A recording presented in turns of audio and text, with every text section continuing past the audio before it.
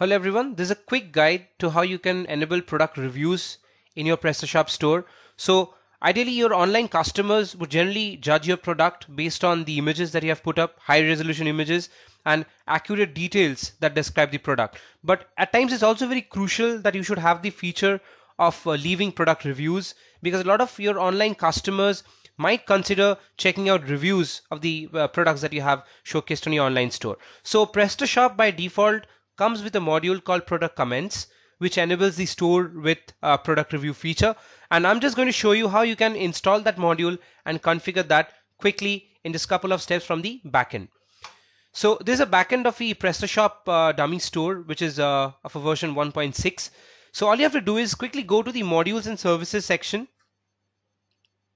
and there you'd find a list of all the modules that are already installed and the modules that are available to be installed. So just type in product comments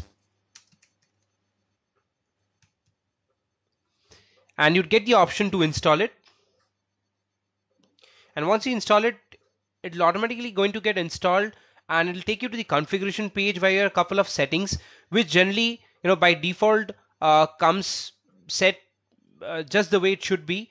So ideally all reviews must be validated by an employee and it's supposed to be set as yes uh, because you not want uh, you know people to leave junk uh, posts on the uh, review section of your product.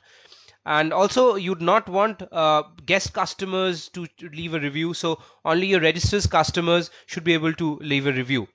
And the minimum time frame between two reviews could be 30 seconds or more uh, as you feel it's important Okay, so once an, uh, a review is given by a customer, here you'd find that review for approval.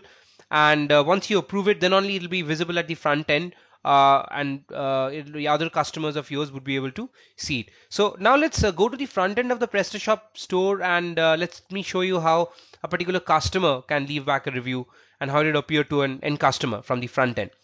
So let me just randomly select a product and say, so here you have the option, be the first to review you click on that and give anything you want.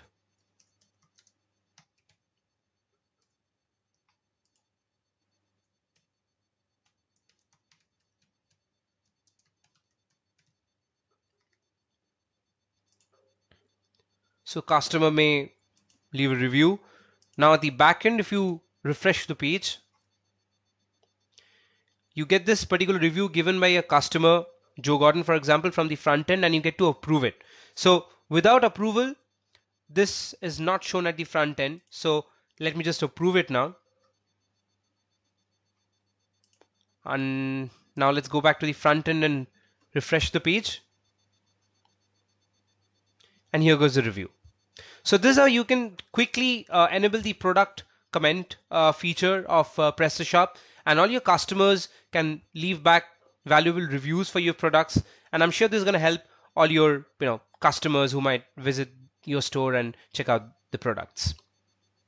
Thank you.